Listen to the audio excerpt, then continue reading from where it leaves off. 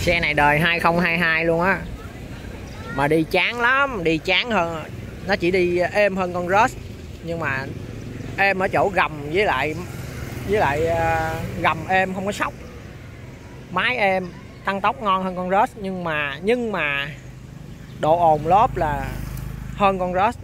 Độ ồn lốp là hơn con SJG của Mitsu luôn. Xe thì không có nâng hạ gầm gì hết trơn, trời á không có nâng hạ gầm gì hết trơn á.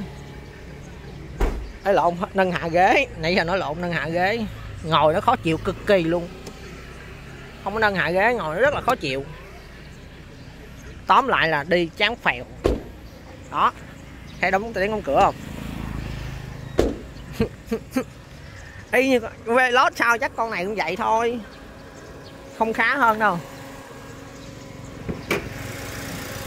Đây tấm trắng gầm máy đây. Không có luôn.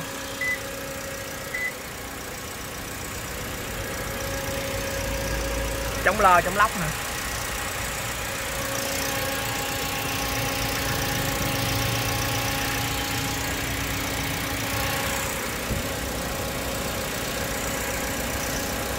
Trời, chống lơ chống lóc luôn á.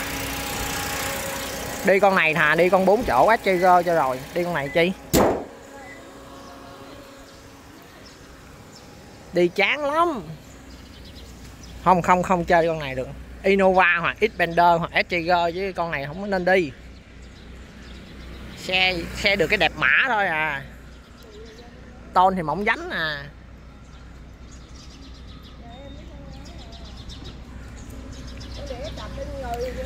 Đi nó ồn dã man luôn. Ồn tiếng lốp rồi. Ồn tiếng lốp là nhiều, ồn kinh khủng. Giờ hai đứa con à, đi học nè.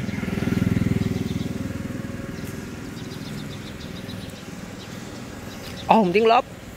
Hơn cả bốn chỗ sedan SJG vậy thôi, mua con này chi? Chẳng chẳng hiểu để mua để làm gì nữa. Tiết kiệm xăng thì tiết kiệm xăng nhớ đi, khó chịu thế bà luôn. Không nâng ghế được là đi đã khó chịu rồi. Cái ghế nó ngồi thì khó chịu lắm nha. Chứ không sung sướng gì đâu.